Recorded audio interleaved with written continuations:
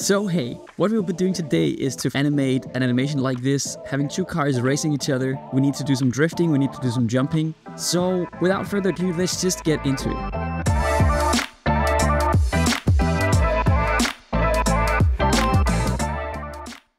So we will be using the launch control add-on, which greatly helps when making stuff like this and makes the process much smoother because it has so many features that just work out of the box. Apart from that, we will try to take it from the very basics so everybody can follow along. So even if it's your first time doing animation, just stick around. We'll go over how to make drifting look more realistic and we'll go over how to link these two cars into the same scene so we can have two cars racing each other.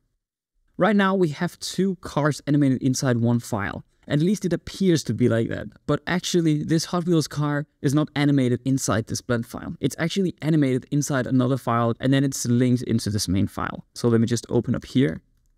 This is the Hot Wheels file, which means that whenever I do any edits, any changes inside this file, it will just update in my main file.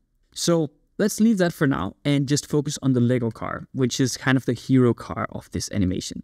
Okay, so we have our car here placed. It doesn't have any animations now. And we're able to just start from scratch and rig it again and start to do a little animation here.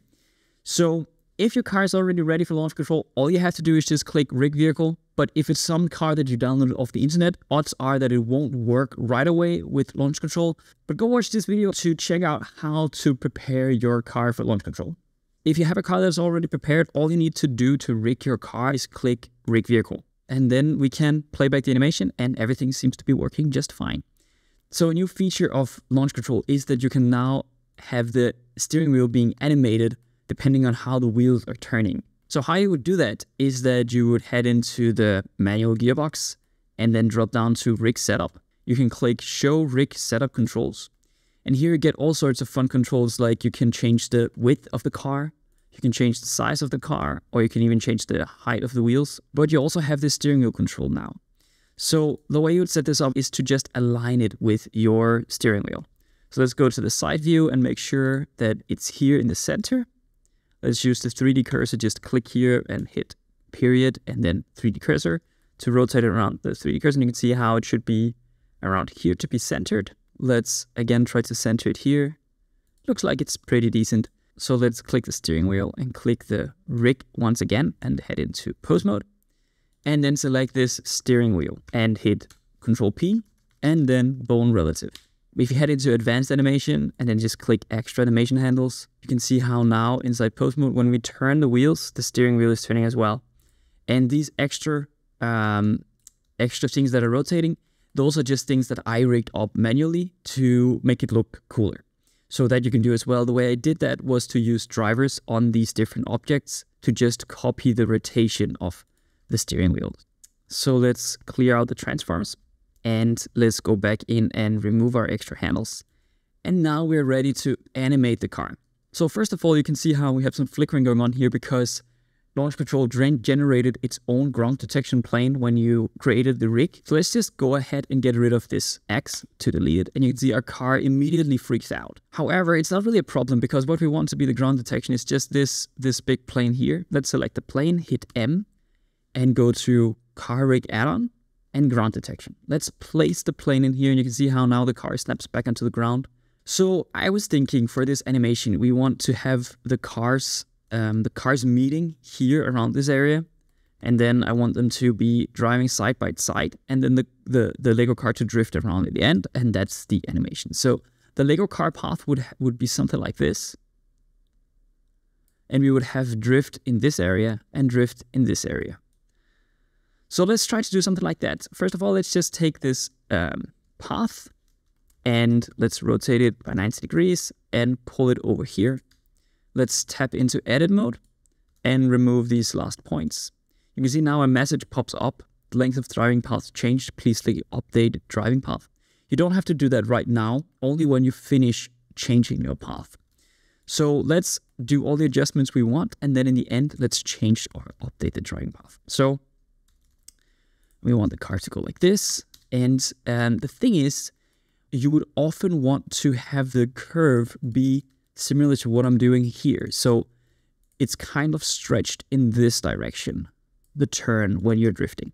because the car would be having a lot of momentum going to the right and it will slowly try to get momentum going down. So that means that the turn would look more like this rather than something like this. So try to keep it somewhere like this and we can always adjust this along the way if we figure out that it's not working entirely. Let's just rough it out for now. Okay, I think that looks good. Let's get this one to go down here and swing around here and then just come to a stop. And again, let's try to do the same. Let's try to make this long and then the, the turn kind of flat in the end. So it's very long and stretched here, and here it becomes kind of flat. Okay, let's see how this works. Let's click Update Driving Path, and you can see when we play back our animation, the car just comes to a stop here. The reason for this is that the offset or the speed of the car has to be animated too. So by default, it works with this turn path, and the turn path is only, let's say, 50 meters long. So the car will travel 50 meters and then stop. So even though we extend the driving path, the car would still only travel 50 meters and then stop. So what we need to do is to go into the pose mode on the rig and then click this speed rotate. Let's jump into the graph editor and here we can see the movement curve. So if you have a movement or a position, then the tangent of that position curve or position graph would be the speed at a given point in time. So let's say right here, the speed would be this tangent. And when we get up here, the speed would be, actually we can make a tangent here by adding a keyframe. The speed would be this tangent.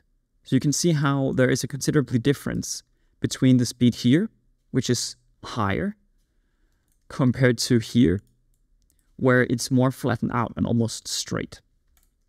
So just keep that in mind when animating. Let's first get the car to the final point so we know the car we would want it to end around around here. And it should probably end, you can see the other car here is animating and it's getting just flying through the ground because then we don't see it anymore. So I guess the animation would end around 250. So let's take this point, put it in 250. You can see the car only travels until this area here, the 50 meters or whatever. So let's take this point as well and hit G and Y to push it up. And I can see how we can adjust how far the car is traveling. So something like that looks good. Now you can see how our car is moving along the path. And it's racing the little car here on the track. The little car is totally overtaking him. And in the end, stopping there. So right now it doesn't look very beautiful.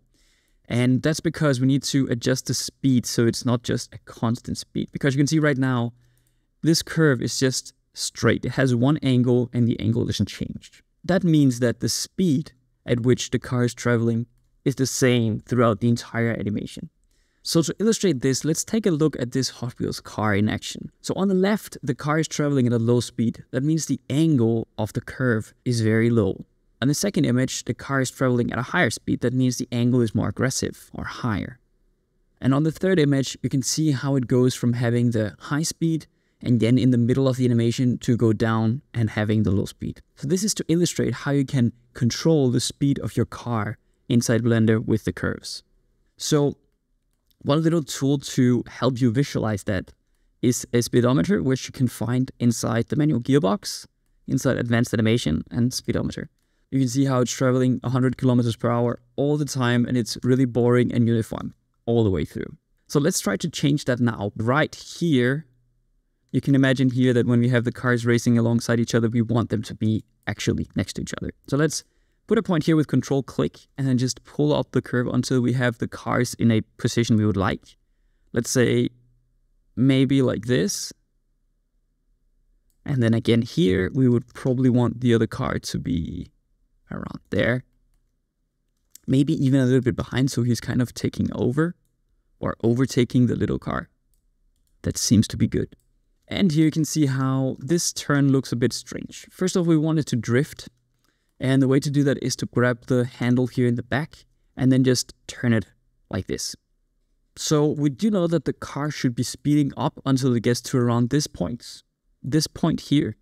Then he will probably slam the brakes and try to get the end of the car to start to drift. So let's put another keyframe here because this is kind of a critical point. And until this point, I imagine that he would be trying to accelerate. Let's do something like this. So he's gaining and more speed. And then here, he initiates the drift. So I found this awesome reference online, uh, actually a, a BMW video on how to drift a car. When we study this, let's go frame by frame, you can see how the front wheels of this BMW, they kind of follow the curve, the circular curve around. However, the rear wheels, they don't really follow the curve. They're more like just continue straight ahead. So you have the front wheels going around while the rear wheels are trying to go straight. And this means that the car will slowly start to drift. And this is the kind of thing we would like to replicate in 3D. Inside keying, let's just set the action keying set to available to make it quicker to just add keyframes by hitting I on the keyboard. So let's click I inside the rotation to set a keyframe. And now let's go ahead and move some frames forward, something like this probably around frame 10. And here we will want to rotate so the rear wheel is still following this straight path. Maybe a little bit less because he might already be. So imagine it's a fight between the rear wheels trying to go this way and the front wheels trying to go this way. So let's hit I to add a keyframe there. Let's move a little further. And here you can see how the car would not be able to reach this straight line anymore, but that's okay. It's because the front wheels are starting to get a grip now and he's starting to change the direction of movement. So let's put on the keyframe. And you can see how now we don't have to drift anymore because we already get the back of the car swinging out a lot. So now it's a little bit up to interpretation how long we should drift for. But probably it will be back around here. So let's play this back and see how it looks like. Okay, you can see something seems a little off. And the main thing is that when you drift, you have a speed, let's say you're going 50 kilometers per hour this way. When you get out of the drift, you will not be going 50 kilometers per hour down because the momentum you had before was to the right. That means that we'll actually lose a lot of speed when we're doing this drift. So let's again click the wheel go to the top view. And then around here, I think we would already have lost a lot of speed. So let's add a keyframe here and just pull this down slightly. And then pull the next keyframe down too. Okay, probably would lose even more speed. Something like this. So it starts to swing out and we're very low on speed and now it will start to accelerate once again. So let's take this other point and pull it back a little bit. And there we can see how it accelerates. Let's just make this a little smoother. And then it accelerates like crazy. Probably that's a little bit too much acceleration. Um, so let's push these forward. Okay, let's grab this guy. And now you can see how our the keyframes we put don't really match anymore because now the car is traveling slower. Um, so what you can do is just grab the these points and then line them up with your line again. So something like that. You can see how it's going way, way too fast overboard here. Well, it's, it's turning way too fast. Something like this. Something like that. And something like that. Let's get rid of this last one.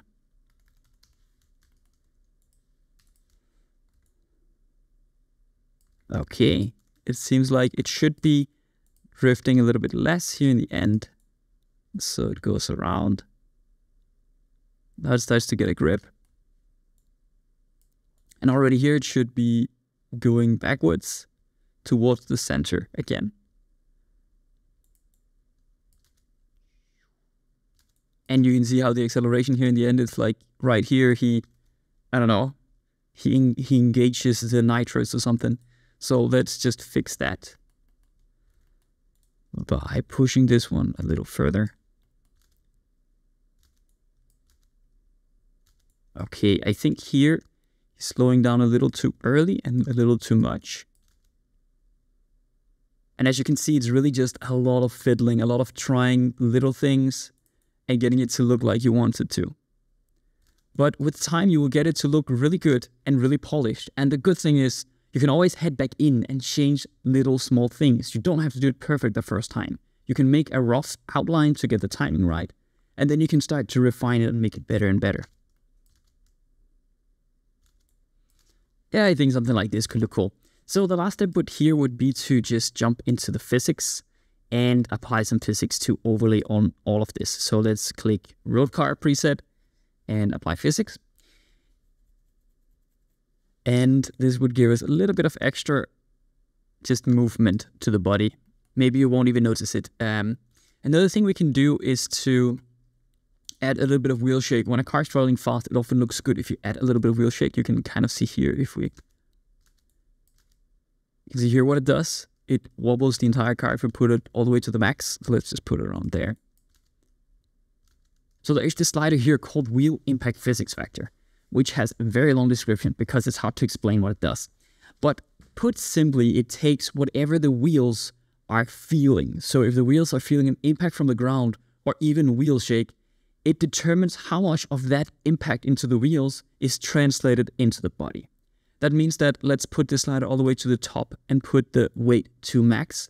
You'll see how the body is wobbling like crazy because all this impact from the wheels goes directly into the body.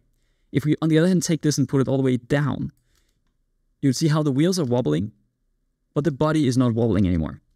So I would probably put it somewhere around here and then turn this down somewhere like that. And you could even, if you wanted to, if this was a, a Lego model that was old and everything was kind of saggy, you can even make the wheels wobble a little bit. See the back wheel is wobbling like crazy. Probably too much. Let's just add a little bit. Okay, and there we go. You can see here, it looks like the car is kind of slowing down there a little bit, and you have a little bit of wobble as well. So that's basically the same thing as what we would have to do for the other turn. And then we have our car animation. So let's just, in the end, take this last point here and just slow down the car slightly so it doesn't have this very abrupt ending. It looks like it's hitting a wall or something in the end. Let's take this guy, let's put it from there. Let's pull out this guy and something like this. Now you can see how it feels like something is wrong. It feels like the car is still doing this weird motion in the end. And the reason for that is that we changed the animation, but we didn't update the physics. So let's just hit update physics again. And now we should be able to see that the car is coming to a stop. Okay. And one last thing is that we should probably turn off this wheel shake when the car comes to a stop. Otherwise, the wheels will keep shaking even when the car is at full stop. Let's turn this down to zero. And you can see how it's just turning down as we get to a stop. Okay, let's try to apply the physics and see how this end looks. Okay, so the car is coming here. It's drifting around the corner.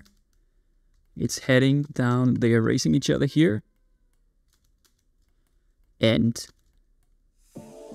they're coming to a final stunt where they are crossing each other in the air.